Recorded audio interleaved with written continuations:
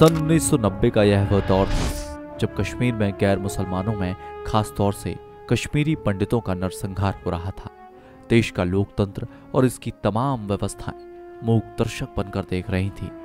मस्जिदों से loud speaker पर हिंदुओं के खिलाफ वायलेंस, वार्निंग का अनाउंसमेंट हो रहा था। कश्मीर की आज़ादी के नारे लग रहे थे। जिहादी उन्माद अपने चरम पर था। कश्मीर बनेगा पाकिस्तान, हिंदुओं से कहा जा रहा था। कि अपना घर, धन, दौलत और औरतें छोड़कर चले जाओ।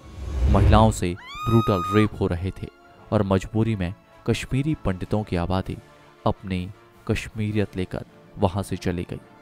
हैरानी तो इस बात की है कि जो लोग इन तमाम घटनाओं के लिए मूल रूप से जिम्मेदार ठहराए गए, वह सत्ता के गलबिहा करते हुए देखे गए। हमारे साथ आखिरी तक बने रहेगा आज का विषय जितना गंभीर है, उसे उतना ही इग्नोर किया गया है। हम बात कर रहे हैं फ़िल्म कश्मीर फ़ाइल की। कश्मीर के इन भारतवासियों पर ना तो कभी किसी सरकार को दया आई और ना ही समाज का आईना होने का दम भरने वाले बॉलीवुड को। आज के दौर में कश्मीर का मुद्दा फिर से चर्चा में है और इसकी वजह है। 11 मार्च को रिलीज़ हुई फ़िल्म द कश्मीर फाइल्स। इस फ़िल्म के बनने का रास्ता लगभग बत्तीस साल लंबा रहा है। इसके थिएटर तक पहुँचने का रास्ता भी बहुत मुश्किल रहा।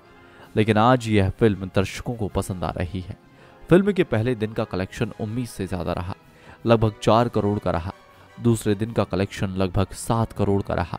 फ़िल्म को क्रिटिसियस ने पाँच में से तीन स्टार की रेटिंग दी, लेकिन इन सबसे अलग हम आपको बताने जा रहे हैं। इस फ़िल्म को देखने के बाद उन लोगों का रिएक्शन, जिनकी तकलीफों को सजोकर इस फ़िल्म ने पर्दे पर उतारा है। फ़िल्म की कहानी रियल इंसिडेंट पर आधारित है। फ़िल्म के डायरेक्टर विवेक अग्निहोत्री और अभिनेत्री पल्लवी जोशी ने इस फ़िल्म को बनाने के लिए पहले जो रिसर्च किया है, वह इस फ़िल्म में नज़र आता है। केवल हमारे देश ही नहीं, कश्मीर से निकाले गए कश्मीरी पंडित, दुनिया के जिस किसी भी कोने में हैं, उन सबसे मुलाकात करके बातचीत का दस्तावेज़ सजोकर, एक ऐसी कहानी बुनी गई, जिसमें लाखों कश्मीरी पंडितों का दर्द समेटकर दिखाने की कोशिश की गई है।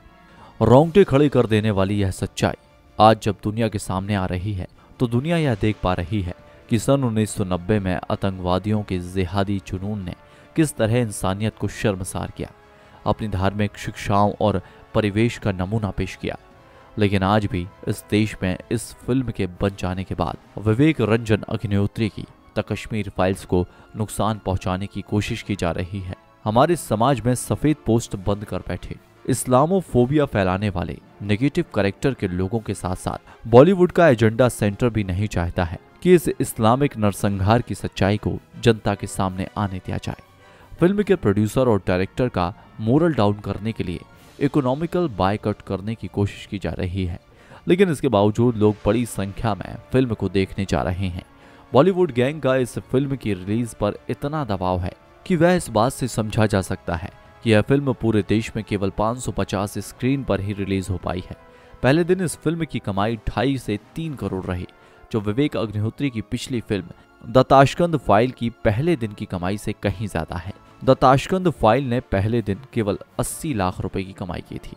सन 1990 में कश्मीरी पंडितों के साथ जो हुआ, उसे केवल एक पलायन का नाम देकर उस पर अपना एजेंडा सेट कर दिया गया। भारत के निवासी होने के बावजूद कश्मीरी पंडित भारत में शरणार्थी बन गए। यह फ़िल्म इस नेटिव को रिजेक्ट करते हुए इस सत्य को उजागर करती है कि सन 1990 में जो हुआ, वह एक पलायन नहीं था, बल्कि निर्दयता पूर्वक मानवता की हत्या थी, जिसे राजनीतिक कारणों के चलते दबा दिया गया। कश्मीरी पंडित बीते तीस सालों से शरणार्थी का जीवन जी रहे हैं। उनके घरों, दुकानों और उनकी प्रॉपर्टी पर उन लोगों ने कब्जा कर लिया है, जिनकी वजह से उन्हें कश्मीर छोड़ना पड़ा। आज भी यह कश्मीरी पंडित न्याय की उम्मीद में इंतज़ार कर रहे हैं। सबसे अजीब बात तो यह है कि देश में इतनी बड़ी घटना घट गई, लेकिन आज तक इस विषय पर कोई ऐसी फ़िल्म नहीं आई, जिसने इन लोगों के दर्द को समझा हो। लेकिन आज जब निर्देशन विवेक रंजन अग्निहोत्री की यह फ़िल्म आई, कि लोगों का इमोशन कुछ इस तरह से फूट पड़ा कि कश्मीर की पीड़ा को प्रत्यक्ष झेलने वाली यह मैडम अपने दर्द पर काबू नहीं रख पाई। उन्होंने फ़िल्म के निर्देशक विवेक रंजन अग्निहोत्री को अपने बेटी की तरह करे लगा लिया। उनके दिल से निकले यह शब्द फ़िल्म के कलाकारों, निर्देशक, निर्माताओं और पूरी टीम के लिए श्रेष्ठ पराश्रमिक और सम्मान है। इस फ़िल्म में अनुपम खेर, मिथुन चक्रवर्ती जैसे दिग्गज कलाकारों ने जो शानदार अभिनय किया है, उसने इस फ़िल्म के उद्देश्य को पूरा करने में कोई कसर बाकी नहीं रखी कपिल शर्मा ने नहीं किया फ़िल्म का प्रमोशन।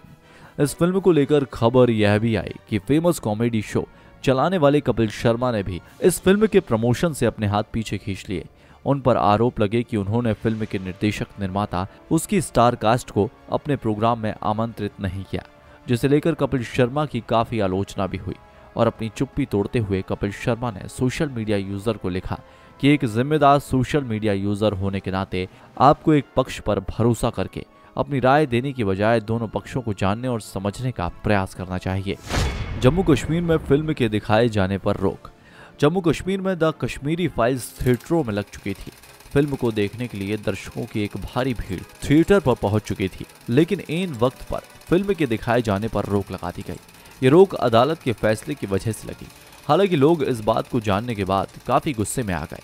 वह कश्मीर की सच्चाई पर बनी इस फ़िल्म को देखना चाह रहे थे। इसके चलते कुछ लोग पुलिस से भी भिड़ गए। लेकिन बाद में पुलिस ने उन्हें समझाया कि अदालत के आदेश के तहत इस फ़िल्म को थिएटर में दिखाने से रोका गया है। और दरअसल इस फ़िल्म में उस दौर के एक एयरफोर्स ऑफिसर्स के ऊपर कुछ सीन दिखाए गए हैं। और दरअसल स्क्वाड्रन लीडर रवि खन्ना दुर्भाग्य से उन शहीदों में शामिल हैं, जो इस दौरान कश्मीर में आतंकवादियों के हाथों शहीद हुए थे। और दरअसल 25 जनवरी 1990 को श्रीनगर में यासीन मलिक और उसके साथियों ने वायुसेना के चार जवानों पर हमला करके उन्हें शहीद कर दिया।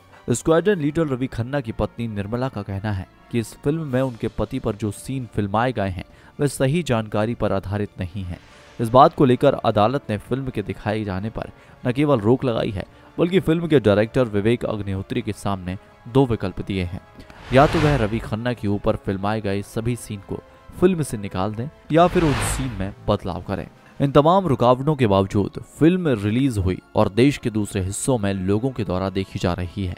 इसके साथ ही इस फ़िल्म के देखने के बाद लोगों का अभूतपूर्व रिएक्शन सामने आ रहा है। इस फ़िल्म की स्पेशल स्क्रीनिंग रखी गई थी। इस दौरान फ़िल्म को देखने वाले दर्शक अपनी सीट पर ही बैठे बैठे रोने लगे।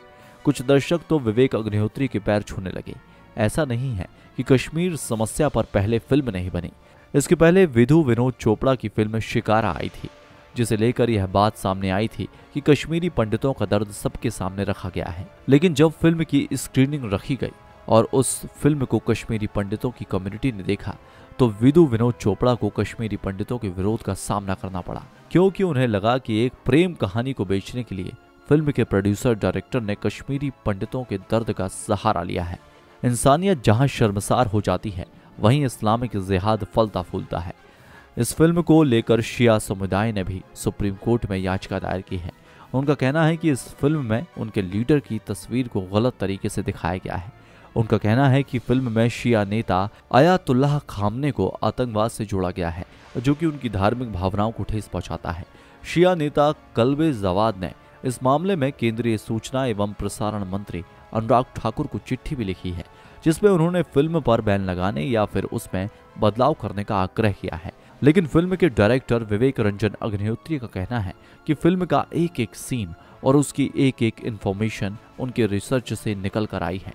वह किसी तरह के बदलाव के मूड में नहीं है। ऐसी ही कुछ वजहों के चलते फ़िल्म के डायरेक्टर विवेक रंजन अग्निहोत्री के खिलाफ फतवा भी जारी किया गया है। कश्मीर नरसंहार को जवाहरलाल नेहरू विश्वविद्यालय के कुछ इंटेलेक्चुअल ने अलग ही रंग दे दिया है। पूरे मामले को कुछ इस तरह से दबा दिया गया है, जैसे कुछ हुआ ही ना हो, और रोने वाले रोते रह गए। आज जाकर उनका दर्द बाहर आया है। आपका इस बारे में क्या कहना है? हमें कमेंट बॉक्स में लिखकर ज़रूर बताइएगा। फिर मिलेंगे एक नई वीडियो में, तब तक के लिए जय हिंद, जय भारत, वंदे मातरम।